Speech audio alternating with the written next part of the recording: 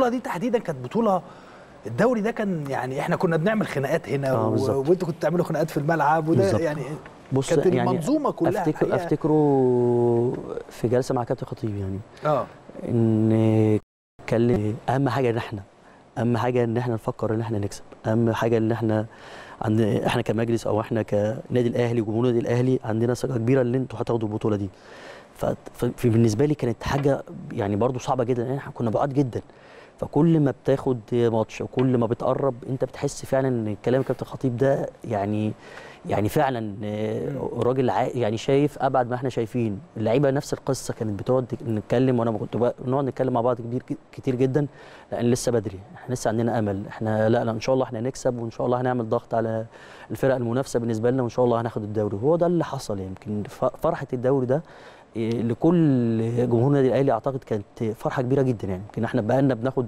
40 سنة بناخد دوري. صح. لكن آه، كان لكن حلاوة آه كانت حرب آه. حلاوة الدوري ده كان بصعوبته بالتحديات اللي كانت فيه بال بالحاجات الصعوبات اللي إحنا قابلناها يعني. فأعتقد إن بغض النظر يعني كان لأ عمل دور كويس مستر لاسارتي في الفترة ديت يعني. بس الناس. بتحب تعرف يا كابتن سامي الكواليس